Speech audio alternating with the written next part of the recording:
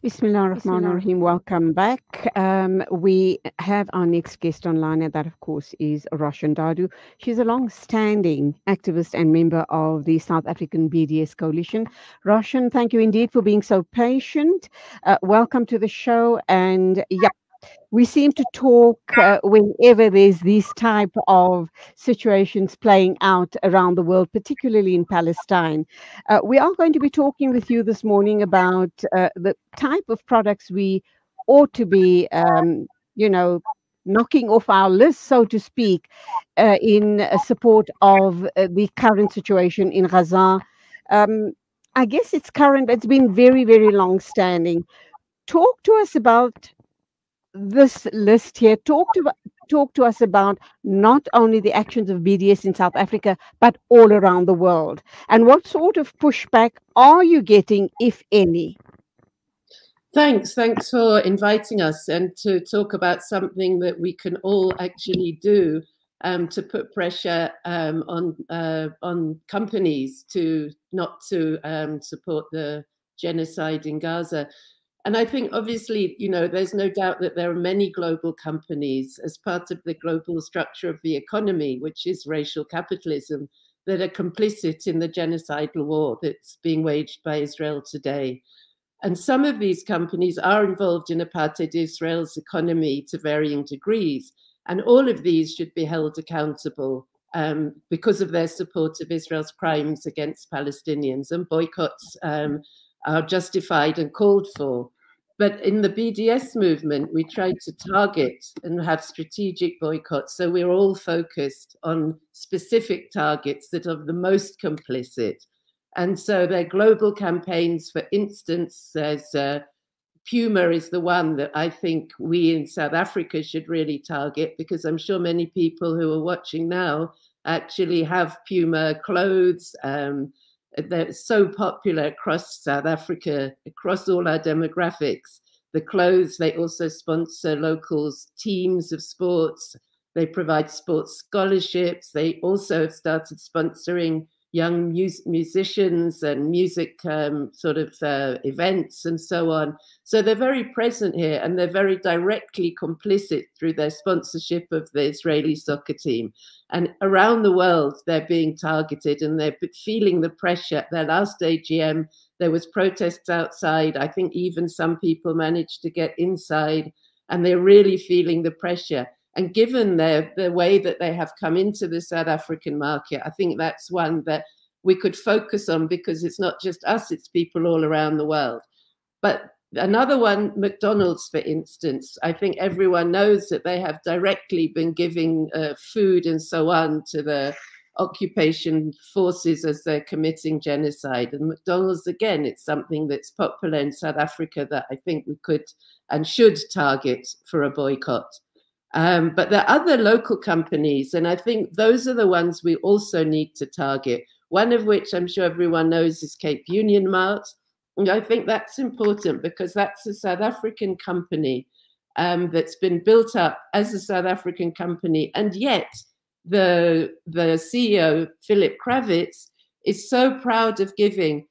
In fact, during the in 2015, he won an award for giving the most money to Israel in their war effort of the 2014 um, onslaught on Gaza. So I think we should demand that he stand up now and say he is not funding the genocide that's going on now. And if we buy from his shops, our money will go directly to fund those that genocide. He's eh, one of the most. He's in, in one. He's involved at senior level in local Zionist organizations, but also in in um, the Jewish Agency for Israel, which is the agency since 1929 has been sole purpose raise money, settle um, uh, settle Jewish people on the land, raise more money, settle more people. The ones that encourage Jewish people to move to Israel in the false belief that that's their homeland. I mean, it's a fundamental uh, tenet of Zionism from the very beginning uh, and he's a senior person on the board of governors. So you can see that, and that person, that Philip Krawitz, trades on being a South African businessman, a proudly South African, and gives some money to various South African things. Well, no, pick a side, I, I think he should, and say if you're proudly South African and you want your company to trade on that kind of a, a, brand and you want people to buy from your company, then come out and say you are not giving money to fund this war effort, this genocidal war effort. So that's one I think we can target. And I think also one of the other aspects of boycott, I mean, there's some things that people maybe personally they would, you know, feel in their conscience. They, uh, you know, there's a connection with um, apartheid Israel of a certain company, and they feel that in their conscience they wouldn't want to purchase the whatever it is from that company. And I think that's great. And we all do that in different ways. But I think when it's a political campaign, then it's also a way of picketing outside those businesses. And especially ones like McDonald's or Cape Union Mart um, or Puma, they're everywhere around the country. So everyone can go and do this because that way, when we've done it, you end up talking to people, you have the discussion. Why are you there? You explain why you're there. You, you're actually engaging with people, giving out leaflets, encouraging people to get involved. And so you're mobilizing people at the same time as putting pressure on the companies. And the companies can't stand it. They're very, very worried. McDonald's has already issued a letter saying, the South African McDonald's saying, oh, it's nothing to do with us. Um, we're a totally separate franchise. Um, you know, we're nothing to do with it. But they are because the parent company um, Would you like to switch that off, please? Sorry. no worries. you know, the, okay. the company is complicit. So so I think, you know, those are the sort of focus boycotts. There's others as well. ZZ2 tomatoes is another one because it's it, the seedlings come from an Israeli company that's actually in Ooh, South Okay, I was not aware of that. Uh, okay, and I know let me come in here, Roshan. Let me come in here. I know that there are, I think, 14 pages. I haven't gone through the entire, uh, you know, uh, lot of pages. Uh, there are 14 pages where USBDS have um, obviously listed all of the companies and the products that one should be aware of that is funding uh, the genocide in um, on the Gazan people and the whole of Palestine. So we need to make ourselves familiar with all of this.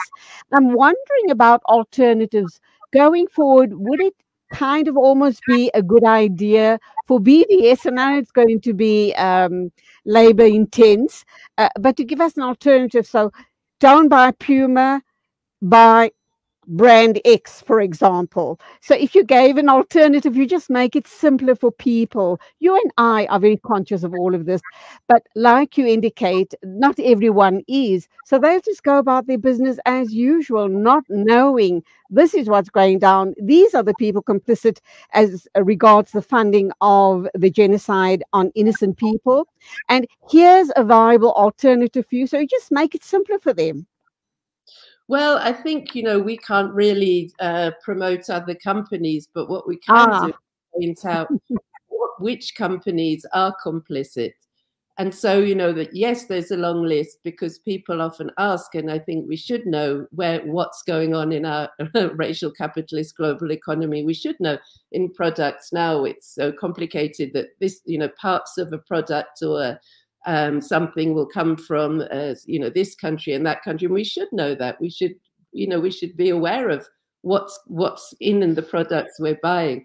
But i think if we target the boycotting campaigns that way we're calling on everyone to, to specifically target. And i think this cape union mart story is very important because it's directly part the, the owner is directly giving our money when we buy something there directly to the Israeli occupation forces in the war effort. If you look on the website of Keren Hayesod, the organization that has been since 1929, specifically there in order to settle, in order to settle um, 29, obviously you can see how, how much before uh, 47, 48 and the Nakba, there was already this, um, this uh, the, the kind of organizations of Zionism that would that were um, working towards that project. And this is a South African company, and I think it's essential that we target um, Philip Krawitz and demand that he he comes out and says, I'm not funding the genocide in Gaza.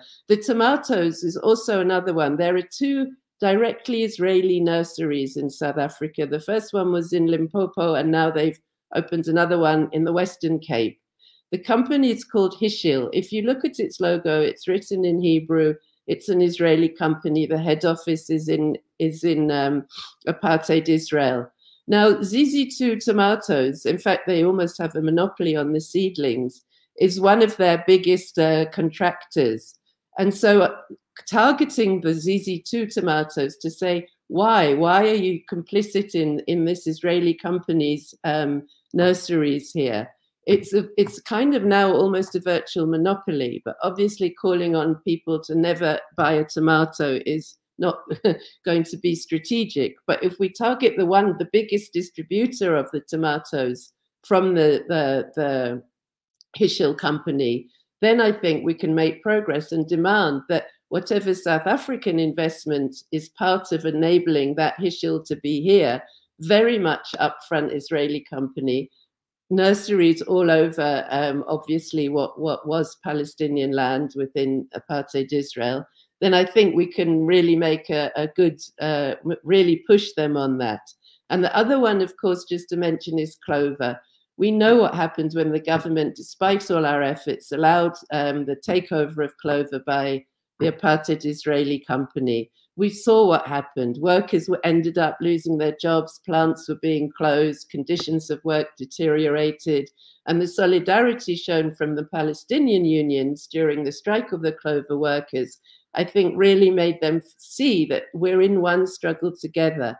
And so boycotting Clover, I think, until we can get this reversed, until we can um, stop this uh, this uh, uh, competition commission decision that it was fine for an Israeli company to buy into and take over. Um, again, another it was kind of a very South African company that no, it's not okay. And particularly as this genocide continues, we really have to take the make as much effort as we can, target these companies, know why we're targeting them, and know what our demands are. Because otherwise, we're just sitting on our sofas. I think uh, Carl Niehaus said that, and and we're not acting. And this is something we can do both personally, but also. It only takes a few people to go and stand outside one of these, like a Puma store, um, for instance. And if you're there and you're giving out leaflets and you have a banner, people talk to you and you can start the conversation. You can encourage more people to be aware of the complicity in our in our country um, of apartheid Israel in a post-apartheid South Africa. Roshan, let me uh, share a, a message by Stephen Gibson, and this is what he's saying. Why boycott Israel's products? Um, let's just get it up on the screen. I'm having a bit of difficulty um, reading the message. So I'm waiting for my controller to get the message on screen so I can share it with you. Somebody clearly not agreeing with BDS and you and I having this discussion. Uh, so Stephen Gibson is asking why uh, boycott Israel's products. Hamas this is uh, this is classic. Hamas are the guilty culprits. Would the suffering people of Gaza boycott Israel's products in times of now when they have no food, no water, etc.? I think not. I think Stephen misses the point completely. He doesn't understand the context to what is going on, the uh, the current situation by the genocidal Israelis. Um, I hope someone can give him a lesson and a good talking to to understand what exactly is happening in apartheid Israel. But what would you like to respond to him? Well, of course, I mean, it's um, the occupying force of Israel in a completely disproportionate way is committing genocide. It's clearly genocide, bombing civilians um, throughout Gaza relentlessly um, telling people to move from the north to the south and bombing the south, bombing them as they're moving. There's nowhere safe, not allowing in any kind of humanitarian aid. I think there was a couple of trucks, but they won't allow fuel in the hospitals in Gaza today. Said that's it. There's nothing more they can do. They can't operate because they don't have fuel. I mean, you know, the death toll is over 5,000 people. Um, I think it's now about 60% are children. Um, you know, it, clearly it, it's it's uh, ridiculous to say um, to not see this. And the, of course, you know, since uh, the Nakba, Palestinians have been living under occupation, have been, um, you know, forcibly removed, ethnically cleansed from areas. And so it's not surprising that people resist, as we did under apartheid after so many years of colonialism and apartheid. So it's really, I don't know what his point he's making is, to be honest. I think uh, just not the awareness of what exactly the issue is in uh, apartheid Israel. I think people seem to think that the land does rightfully belong to the Zionists, which we do now. History tells us differently. But be that as it may, we do need to wrap up. What other final words do you have for us this morning regarding BDS and the call for boycotts? Well, I hope you know that we can really build strong campaigns, uh, boycott campaigns, and target these particular companies. But also, you know, there's lots of uh, um, uh, actions going on on Saturday, in particular, National Day of Action at um, events at Zoo Lake protests, and also a rally there, um, also in Cape Town and other places around the country. So I think we really need to get out, get off our sofas, get out um, protest, uh, you know, where there are protest actions, boycott the products, boycott the, the uh, complicit companies that are here in, in our country and say we want this to be an apartheid free zone and we must end the genocide. Roshan Dadoo, BDS, thank you indeed uh, for your insights. And of course, we do call on everyone to do their bit. If this is all you can do, then believe you me, it is a lot because if each and every one of us do boycott these companies, can you imagine the collective impact? And that's what we're talking about, are we not? Thank you. Yes. Go well. And of course, that brings us to two after nine o'clock. That was Roshan Dadoo. She, of course, is a long-standing activist and member of the South African BDS Coalition. We're moving on now. And of course, our uh, correspondent is standing by with the bulletin of the morning. That is you, of course, Zai Jadwit. Let's take a short break and we'll connect up with Zai Jadwit.